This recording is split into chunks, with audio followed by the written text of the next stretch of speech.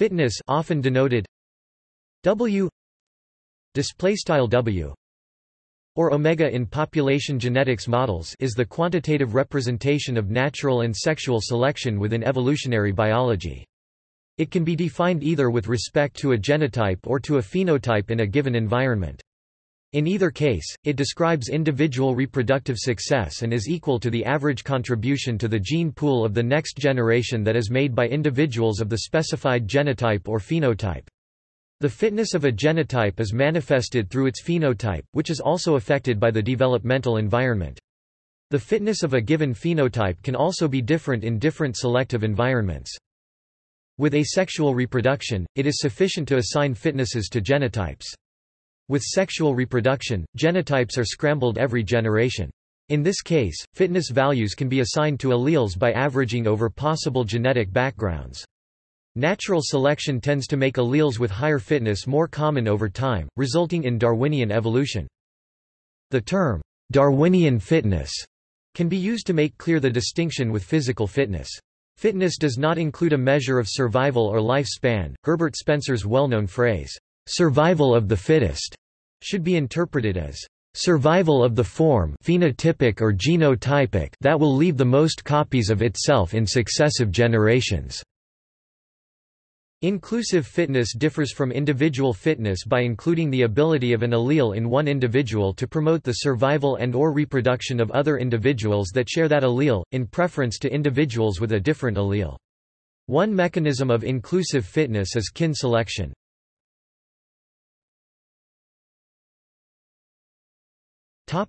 Fitness is a propensity Fitness is often defined as a propensity or probability, rather than the actual number of offspring. For example, according to Maynard Smith, "...fitness is a property, not of an individual, but of a class of individuals—for example homozygous for allele A at a particular locus." Thus the phrase expected number of offspring means the average number, not the number produced by some one individual. If the first human infant with a gene for levitation were struck by lightning in its pram, this would not prove the new genotype to have low fitness, but only that the particular child was unlucky. Alternatively, the fitness of the individual, having an array X of phenotypes, is the probability, S x, that the individual will be included among the group selected as parents of the next generation.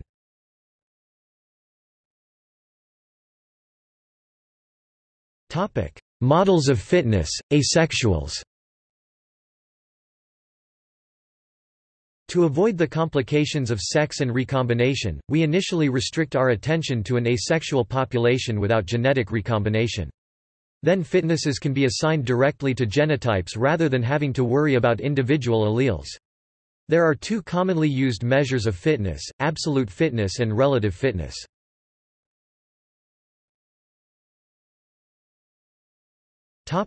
absolute fitness The absolute fitness W display style W of a genotype is defined as the proportional change in the abundance of that genotype over one generation attributable to selection. For example, if n t display style n t is the abundance of a genotype in generation t display style t in an infinitely large population so that there is no genetic drift, and neglecting the change in genotype abundances due to mutations, then n t plus 1 equals w n t display style n t plus 1 equals w n t. An absolute fitness larger than 1 indicates growth in that genotype's abundance, an absolute fitness smaller than 1 indicates decline.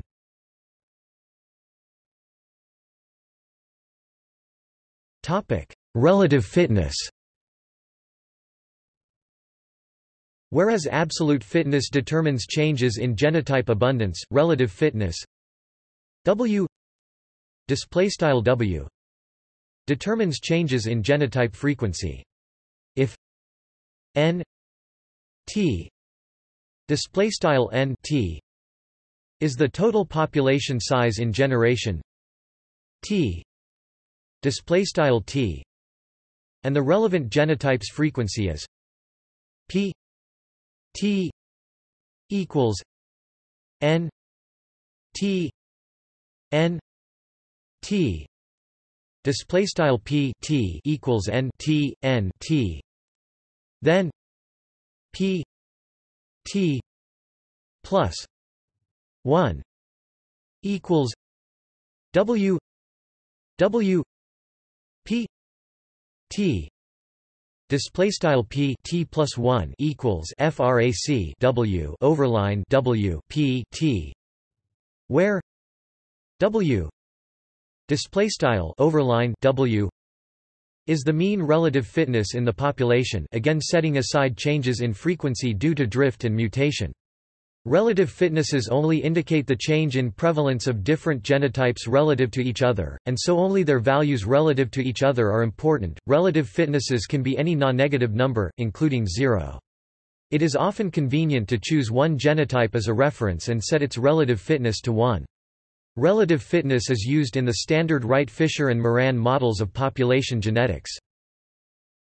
Absolute fitnesses can be used to calculate relative fitness, since P T plus one equals N T plus one N T plus one equals W W P T Display style p t plus one equals n t plus one n t plus one equals with overline w p t.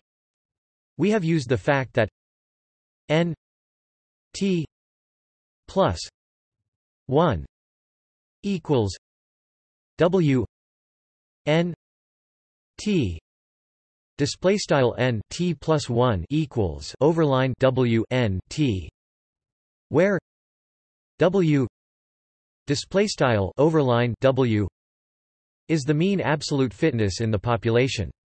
This implies that w w equals w w display style with overline w equals with overline w or in other words relative fitness is proportional to w w display style with overline w it is not possible to calculate absolute fitnesses from relative fitnesses alone, since relative fitnesses contain no information about changes in overall population abundance.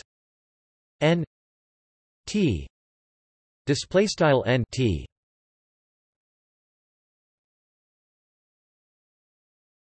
Topic. Change in genotype frequencies due to selection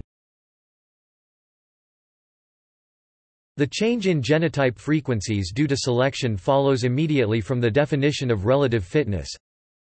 Delta P equals P T plus 1 minus P T equals W minus W W P T Display style delta p equals p t plus one p t equals frac w overline w overline w p t. Thus, a genotype's frequency will decline or increase depending on whether its fitness is lower or greater than the mean fitness, respectively. In the particular case that there are only two genotypes of interest e.g. representing the invasion of a new mutant allele, the change in genotype frequencies is often written in a different form. Suppose that two genotypes a display style a and b display style b have fitnesses w a display style w underscore a and w b display style w underscore b and frequencies p display style p and 1 minus p display style 1 p respectively. Then w equals W A P plus W B one minus P Display style overline W equals W underscore A P plus W underscore B one P.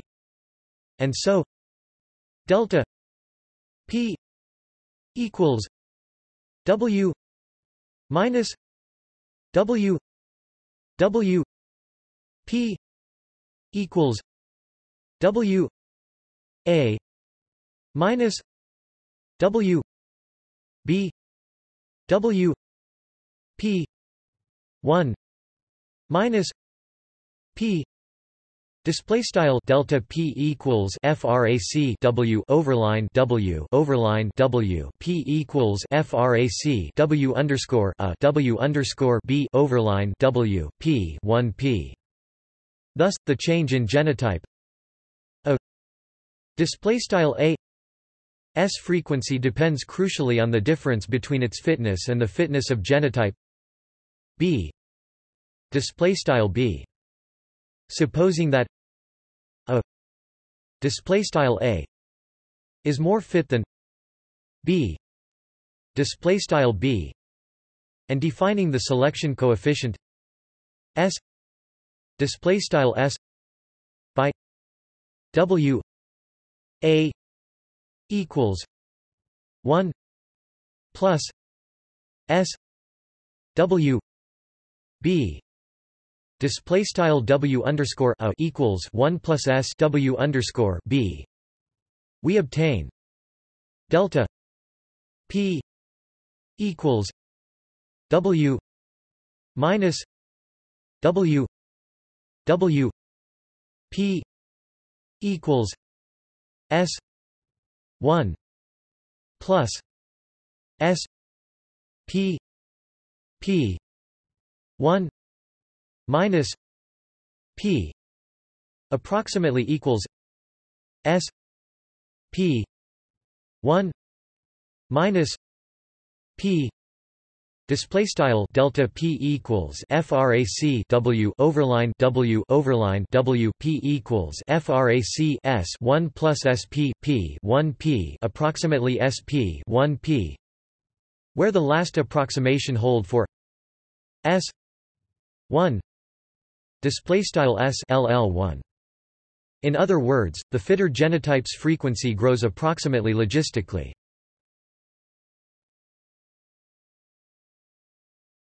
topic History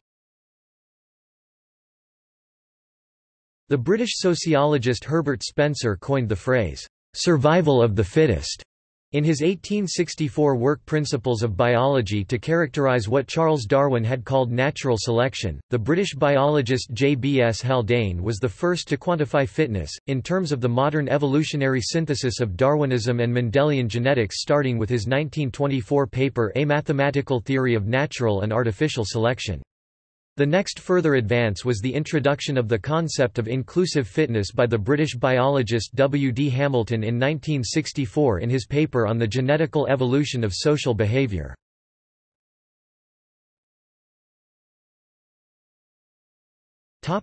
Genetic load Genetic load measures the average fitness of a population of individuals, relative either to a theoretical genotype of optimal fitness, or relative to the most fit genotype actually present in the population. Consider n genotypes. A. 1 a. N. Display style math BF a underscore 1 dots math BF a underscore n which have the fitnesses w 1 W N display style W underscore one dots W underscore N and the genotype frequencies P one P N display style P underscore one dots P underscore N respectively. Ignoring frequency dependent selection, then genetic load L display style L may be calculated as L equals W max minus W W max display style L equals W underscore max bar W over W underscore max Genetic load may increase when deleterious mutations, migration, inbreeding, or outcrossing lower mean fitness. Genetic load may also increase when beneficial mutations increase the maximum fitness against which other mutations are compared, this is known as the substitutional load or cost of selection.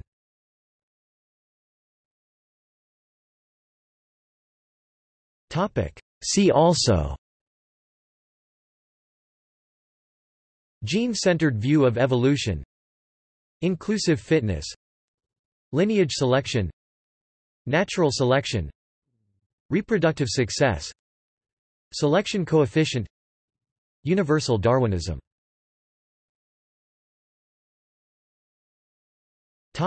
Notes and references.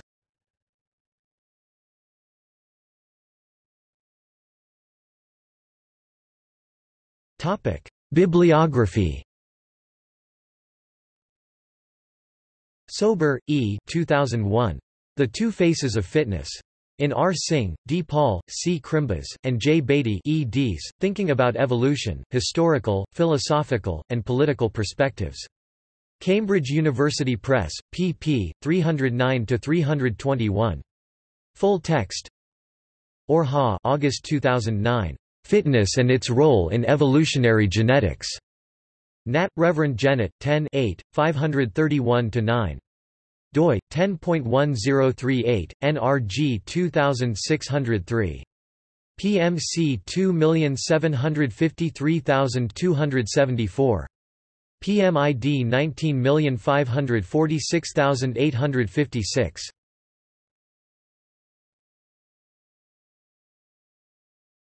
Topic External links Video, using fitness landscapes to visualize evolution in action. Beacon blog Evolution 101, Fitness Landscapes. Pleiotropy blog An interesting discussion of Sergei Gavrilets's contributions. Evolution A to Z, Fitness. Stanford Encyclopedia of Philosophy entry